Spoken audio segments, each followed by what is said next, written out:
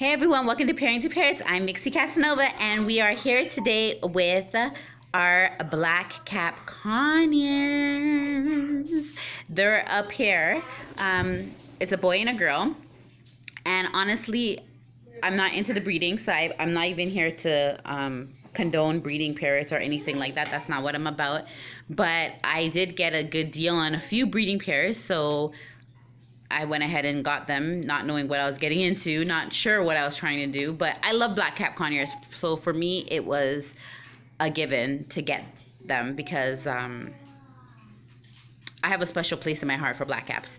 Anyhow, the one that you're seeing here is named Cappy. I believe he's a little over a year old.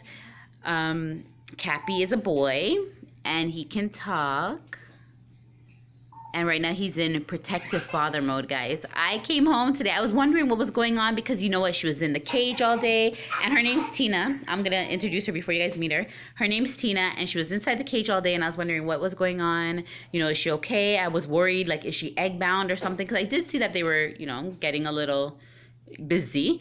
And um, i was just a little bit concerned. However when I came in, I seen that she did come out and she ate and everything like that, and I was really excited.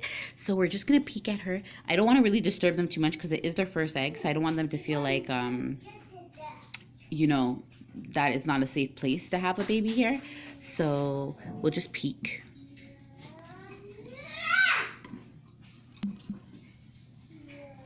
And there she is. She's sitting on top of it right now. I assume she's warming it up.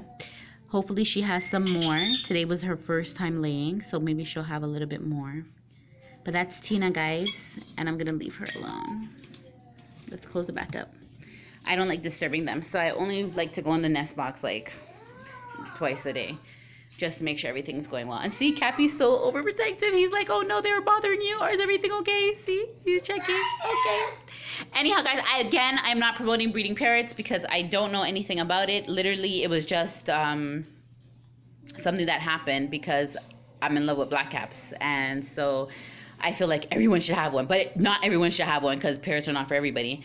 But I love their personality, and I just love them as a conure. I'm it, anyways anyhow please comment like and subscribe and please don't forget that parenting parrots is not about being a pet owner but being a parent to a toddler in parrot form and definitely definitely subscribe so you can follow us through this journey because you know what? This will be our first time. No that's not true we had lovebirds here before. Um boss if you guys do you guys know about boss? I think you guys see her in my intro video.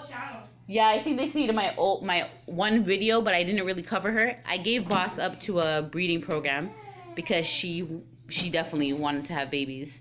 Um, and she was parent raised anyway, so it was the best thing for her. And the guy loves her, like he absolutely loves her. Was asking me if I have more birds, and I was like, no, sorry. Anyhow, um, follow us, guys. Follow us on this journey. I'm so excited to see how these days go. I believe they incubate for 21 to 24 days, but uh, we'll keep checking and see how things go.